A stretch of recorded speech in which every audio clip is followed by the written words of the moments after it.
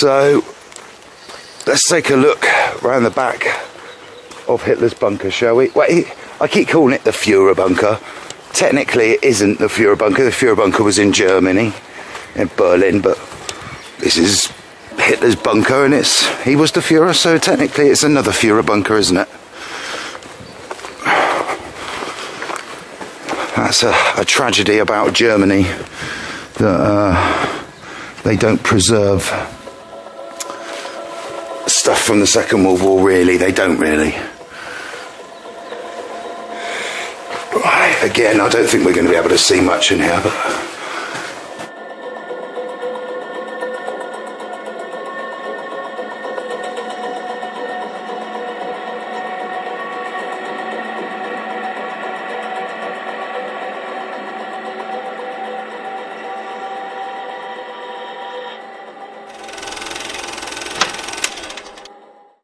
Hey, welcome to the History Man channel, and I am at the Wolfschanze, the one and only Wolf's Lair, Adolf Hitler's eastern headquarters during World War II.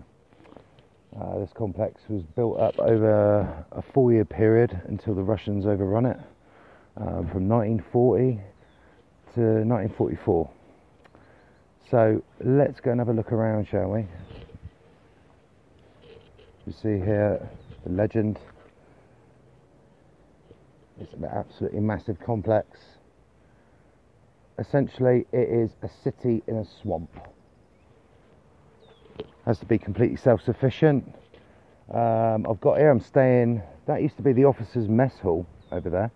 It's also a restaurant, and there's a hotel at the back. Um, there's no English guides. Um, in fact, I'm a little bit disappointed with the way they're running the place. They could be making loads of money out of this place. Um, the restaurant and the bar shuts at five. I mean, that's not much good for people who are staying here, is it?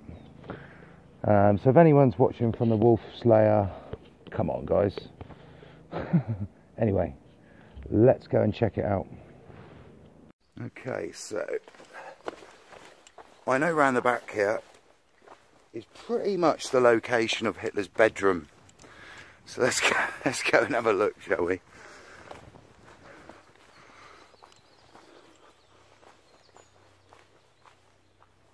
There's so much to this site. I'll go around the main bunkers first, and then I'll, I'll try and pick off some of the smaller buildings in a bit. You might see them appear bit later on in the in the in the video or in a separate video. It's great. It's like I've got the whole of the Wolf's Lair to myself at this time of the morning. It's fantastic. I'm sure the tourists will be rolling up soon. Okay. Here we go.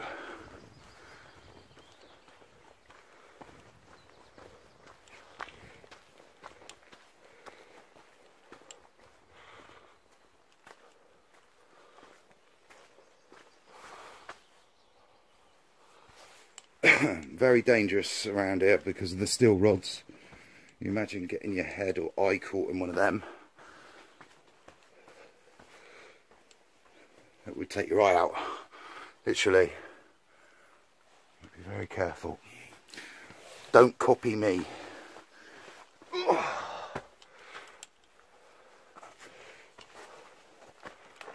There's moss everywhere, it makes it quite slippy.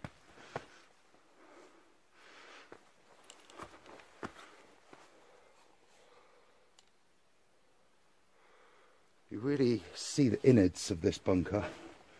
But you tell the Russians they really did try and blow this thing up, but not, with not much success. And here it is. This is this is where Hitler used to sleep. Here we go.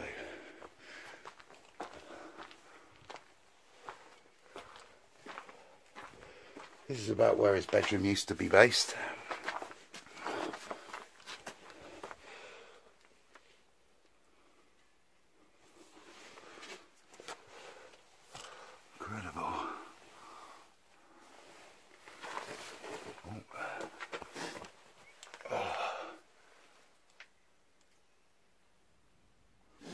I've never seen anything like it.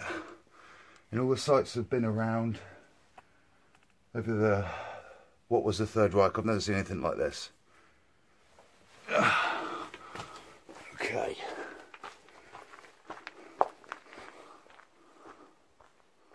An incredible sight. This is what in the innards of his bunker, isn't it? Look at that. I mean, it's like a like some sort of mountain going out. It goes up and up and up and up.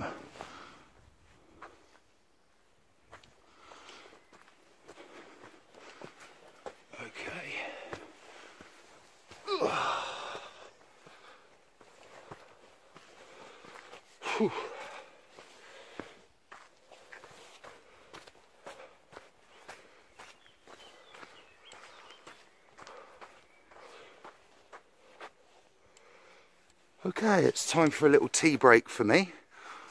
But I'll be back with more bunkers from the Wolf's Lair. On second thoughts, I decided not to climb. Um, I'm on my own. If I, something happened, then I'd be in big trouble. Um, yeah, it's not safe at all. It's a shame, it really is. If I had someone with me, maybe when I do my history tours next year, we can climb it safely. We can apply um, and apply to the complex to actually do some climbing in here. But Göring's bunker, it certainly is one of the, it's probably the best one to go inside of. Because you can go right in the middle of it. It's pitch black in there. Um, but it's incredible. Okay.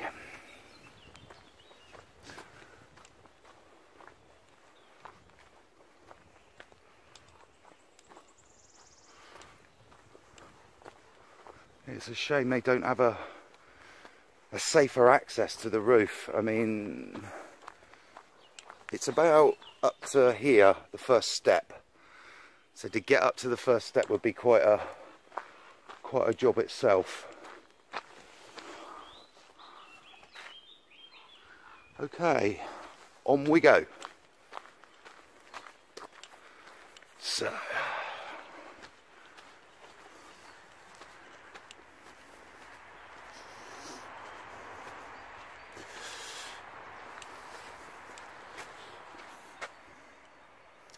And this is Göring's house. Makes sense next to his bunker. He doesn't do much walking, old Hermann. Maybe that's why he was as big as a house.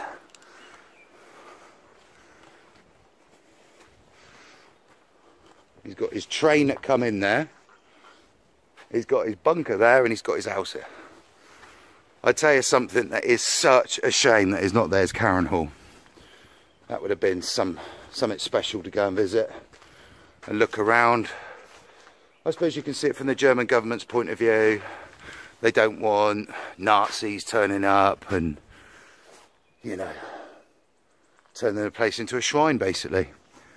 The only known Nazis that I know of that still has a house, um, and it's still in place, and it's actually for sale, is Joseph Goebbels, Bogensee, just outside of Berlin, near Oranienburg. Massive place. He's got about 42 or 43 bedrooms. Wow, inside Hermann Göring's house.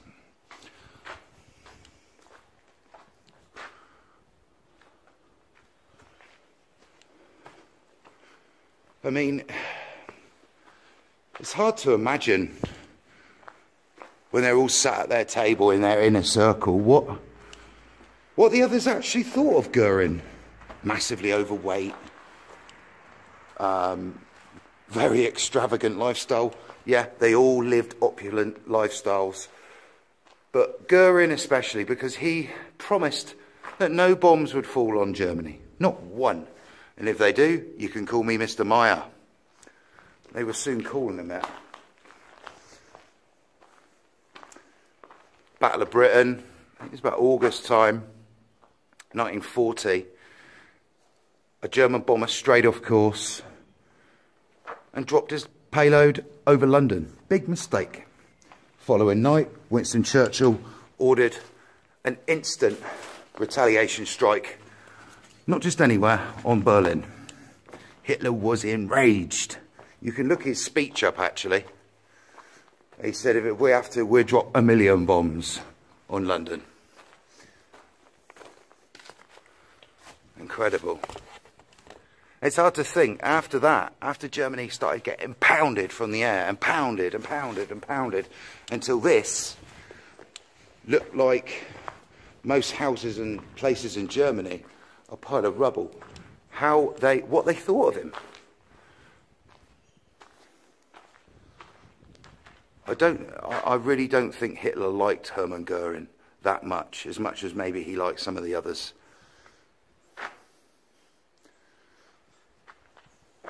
Okay. Goering's house is the Fuhrer bunker.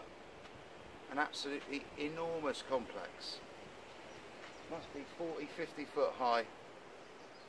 Originally it didn't start out this big, but as the war started going bad for Nazi Germany, Hitler's paranoia got the better of him. And this is the end result.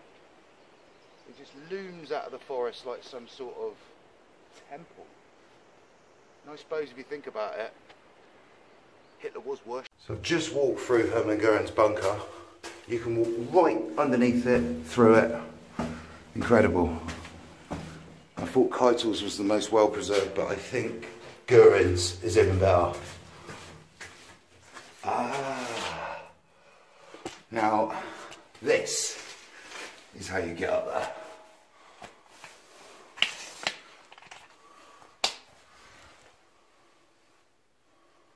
Okay.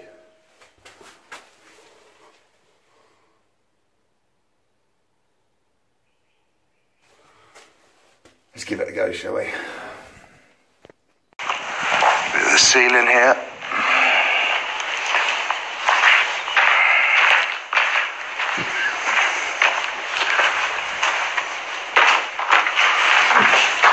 I would say this would have been the entrance to Goering.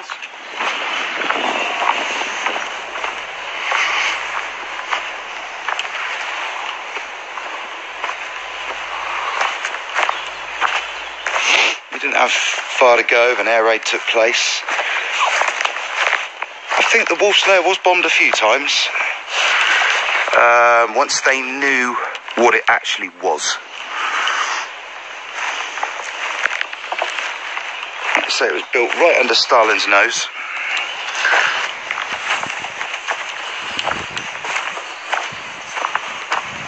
Thousands of German labourers.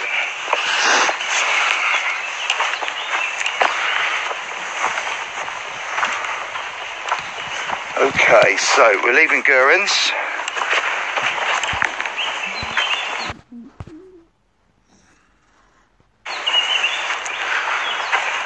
Uh, this is Jodl's bunker, oh, building. Another one who was hung at Nuremberg for crimes against humanity.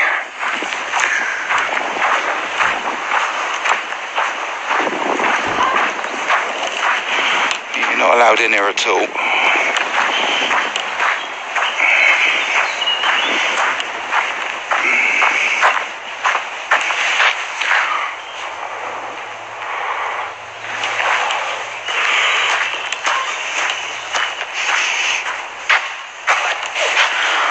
That's a shame. Looks quite interesting. It gives lots of facts, lots of pictures of the Nazis. This invasion of Danzig there. That looks like the, a massive rally at Bamberg. Original pictures from the Wolf's Lair. Looks uh, fascinating in there. It's in quite good condition. Pardon me as well.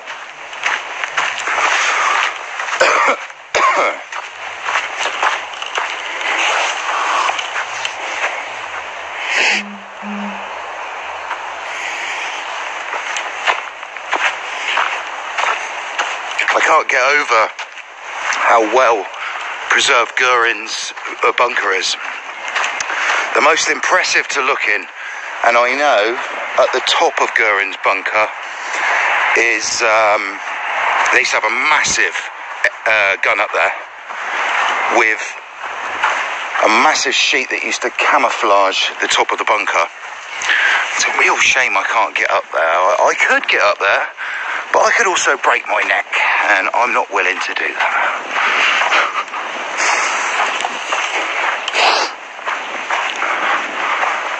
Okay.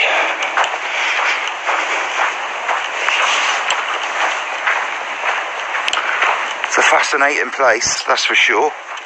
If you're interested in uh, World War II, it is a must. Essential.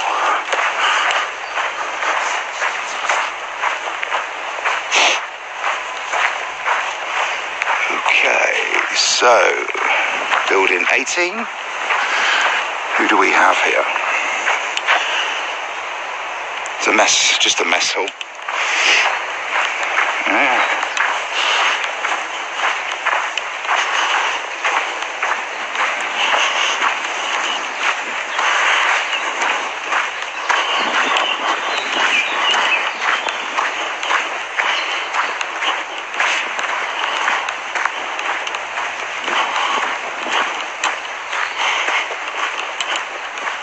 Wow, this is huge. Absolutely enormous.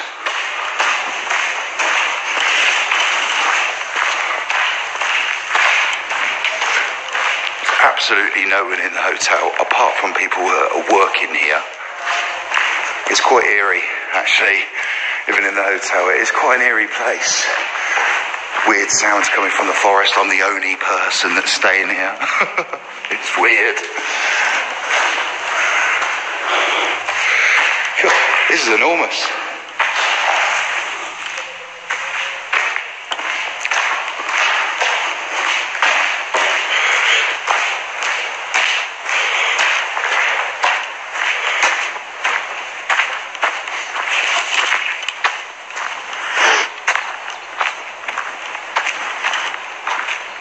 Must have been some sight to see Hitler's train coming in, Goering's train.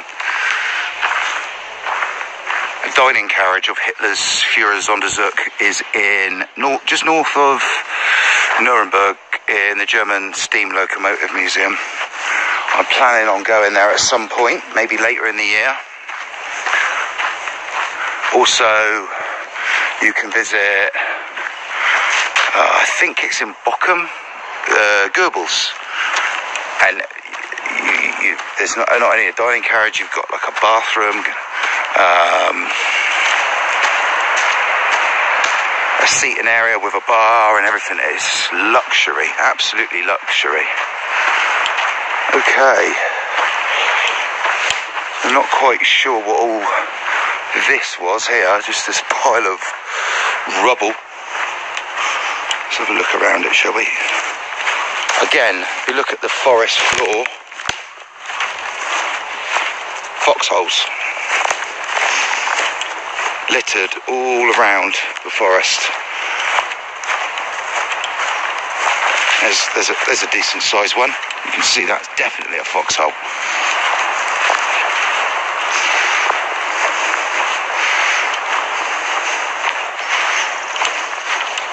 This, this here just looks like a hole in the ground. It's actually a foxhole. There's another one. See this here?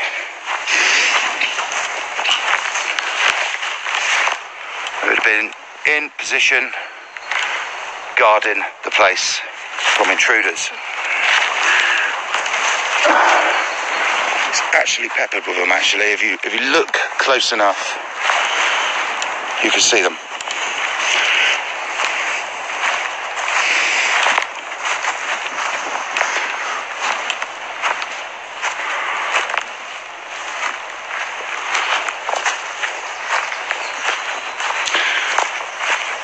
I that a lot of the staff are staring at me like there's two work guys over there. They're just like, oh my god, someone's walking around on their own. And normally uh, uh, people walk around in big tours. I tried getting a tour, but there's no tours in English. Not in the complex. It's not run very well. This place could be making an absolute fortune, and it's not. I don't think it is.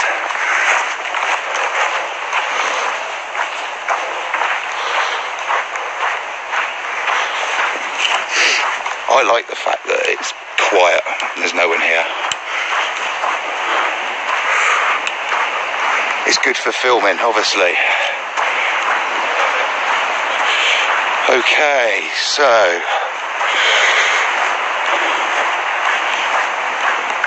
I would say I've missed out maybe five or six buildings and bunkers. Let's try and get.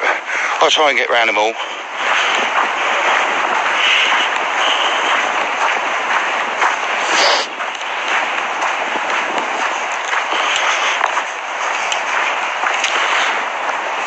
Them workmen would have seen me on top of uh, Goering's bunker, I would have got in trouble. Definitely.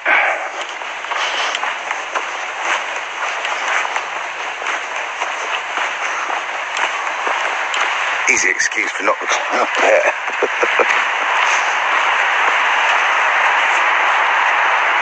We go that one in a minute. Well, I'm not sure bunker this is. I think walk straight through.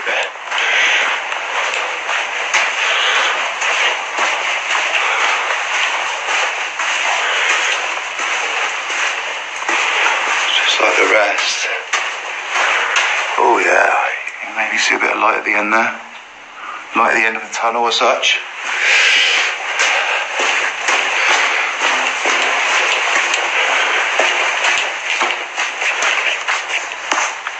It's 21. Okay, yes, I know where I am now. Not far from the start. Communications bunker. Okay, it's a very, very important bunker. So this would have been where communications was severed straight after the Valkyrie attack by von Stauffenberg. Um, they cut all communications.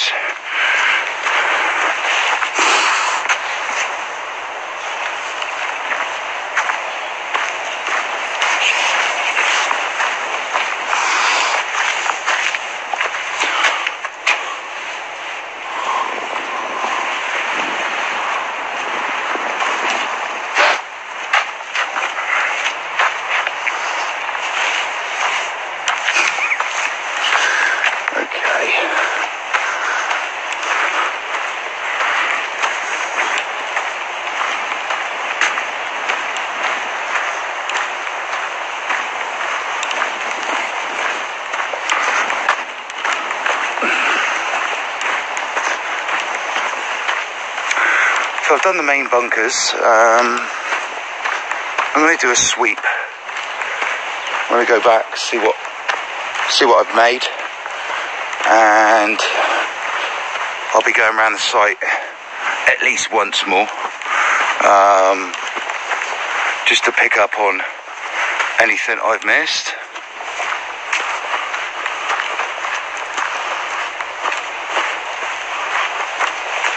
You know what? I really did think only the, the main big Nazis had these massive bunkers, but they all had them.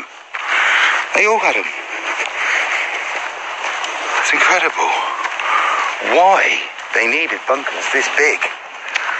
It's bizarre. The German, they weren't silly people, but crazy.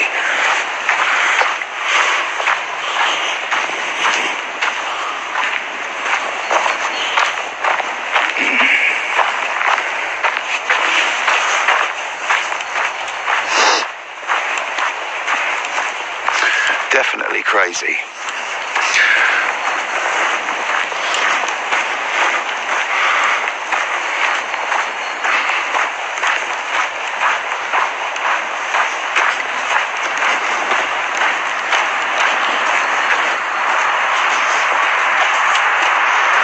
This building here doesn't seem to have a number on it, so I can't tell you exactly what it was for.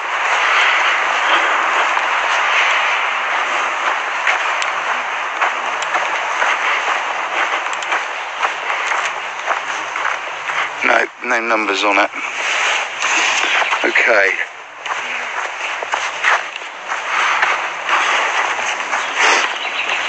Let's carry on walking. If I walk out this way, I can show you the train track better, a little better.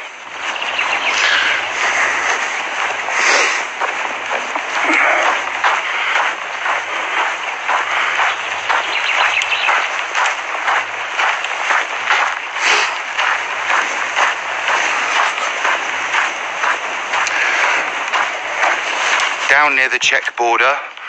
Um, there's a place called the Riese Project, also built by Organisation Todt, who built this place. Um, now that's all underground. They took their industries underground. They're not quite sure what it was for, but I would say they reckon it was some sort of mega SS complex, but weapons, all sorts. 35 square kilometres of tunnels, and a lot hasn't been discovered yet. But it does make me wonder they built all this above ground, why not have built a system where they were all underground? Like the Riese project, it makes more sense than having these monstrosities, and it would have been safer because, like uh, the Valkyrie bomb plot proved, if they had, if, if that bomb would have gone off in that Fuhrer bunker, it would have incinerated everybody. It was only the fact that they moved it to that hut that saved Hitler's life at the time. Okay, so we're actually coming out of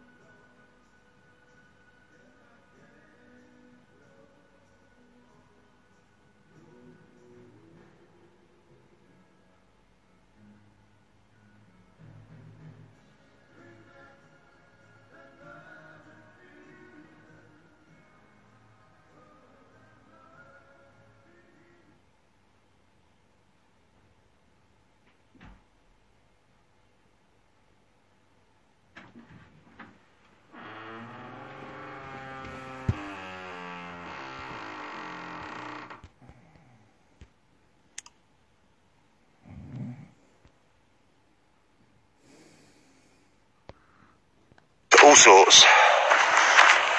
35 square kilometres of tunnels, and a lot hasn't been discovered yet.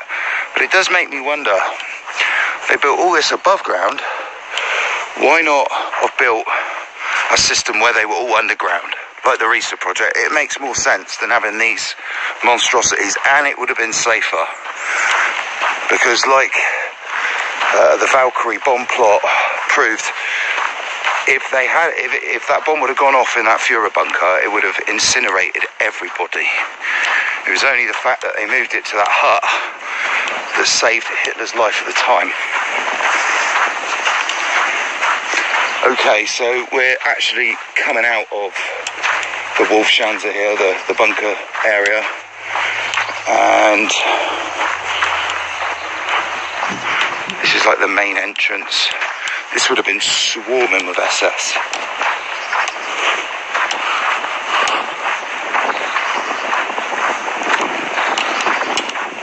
If you go on to my documentaries on my channel, you'll see um, about Hitler's train. Documentary on his trains, fascinating. Um, check it out.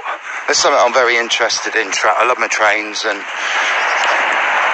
uh, Hitler's dining carriage. It was actually used after the Second World War quite a bit by West German chancellors. Went on a famous journey to Moscow in the 1950s, the early 50s, I think.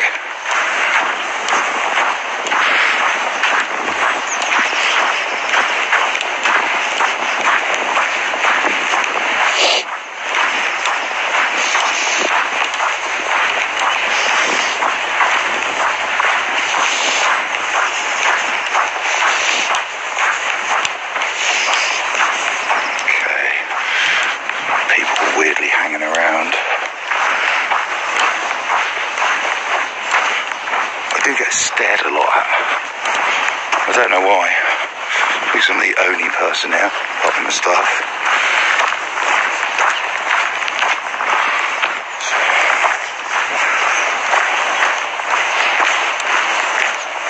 Oh yeah, look at this.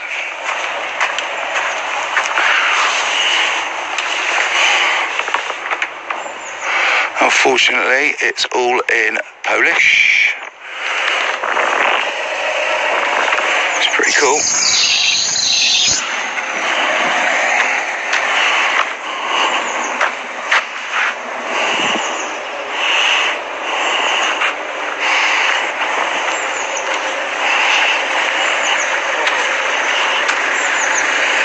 Dzień dobry. Co detektyw? O, A ty już jeszcze A ona to jest pół głowy.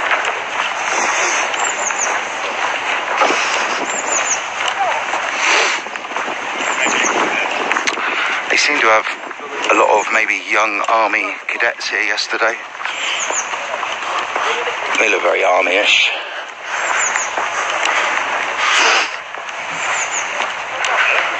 Okay, so here is the train tracks that would have brought in the Führer Sonderzug, the Führer special train, Goering special train, all of them.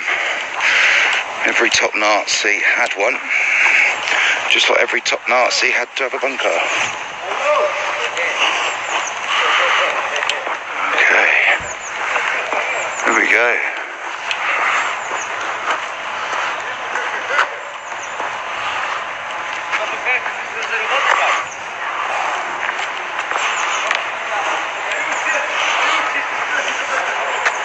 I might go for a walk down the train tracks later.